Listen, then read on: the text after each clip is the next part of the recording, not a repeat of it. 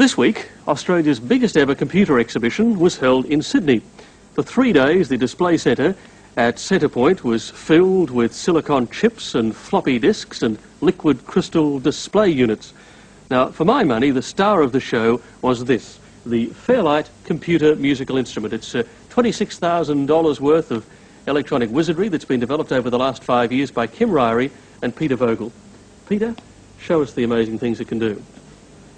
Well, here we're using a computer to actually generate the sounds that we hear.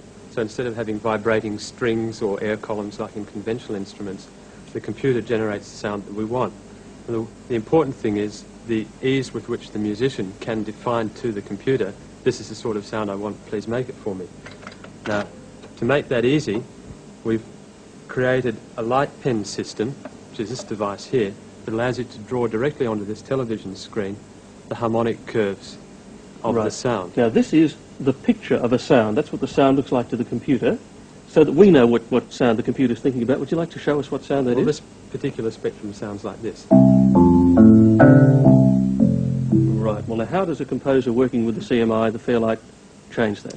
Well, I might select to change one of these harmonics. So I've taken the fifth harmonic here, and I'm just working on that curve on its own, drawing a new one. So now that curve swells up towards the end there, and I'll make the tenth harmonic do a similar sort of thing. Now, when I hit the compute command here, the computer is now thinking about the curves I've drawn here and calculating the sound that, if fed into a spectrum analyzer, would look like that, and that'll sound a bit different. You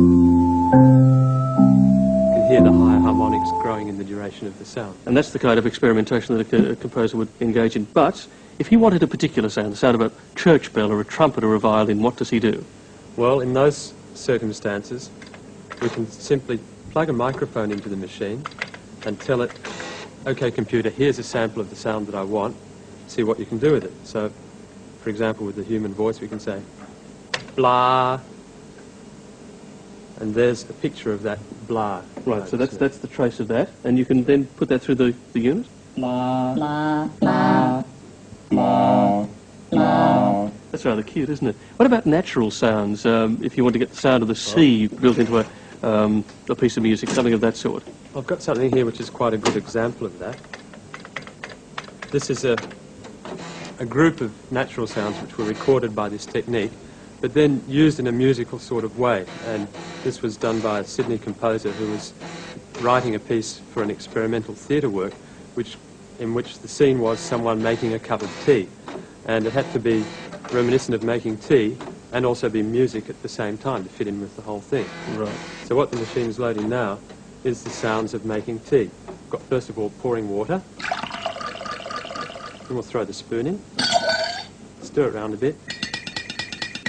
And you can play those sounds like a piece of music. Right, they're pitched to the keyboard. Or you can have them simultaneously. That's rather delightful. Now, the machine can do just about everything. Can it play itself, as it were? Sure, that's another thing that the computer is very useful for. A lot of musicians can't play the keyboard, such as myself, and so I was forced to invent some way of doing it. And for that purpose, there's a special language called music composition language, which is very easy for a musician to use, wherein you just type in, I want you to play this particular piece on this particular instrument, that on a different instrument, and you type in each note. So you type in A, B, C, D. In And the computer does it? Then the computer will play it all simultaneously. How about showing us a bit there?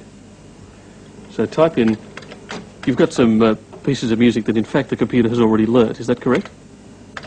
That's right. I think uh, the best thing would be is if Michael Carlos demonstrates it to you. In fact, Michael Carlos composed and played the theme for the ABC series Time Lapse entirely on the Fairlight instrument. And by our own piece of electronic wizardry, Michael is here now. Michael, as a musician, how do you feel about the Fairlight? Oh, it's very exciting. A whole new uh, possibilities and uh, avenues of approach are open to the composer. You don't feel like a technician, you feel like a musician using it? No, no, not at all. Don't feel like a technician. Now, Well- it's removed most of that because uh, it's a lot simpler to, to look at than conventional analog synthesizers. Show us what you can do. Play us a bit of time lapse. Sure.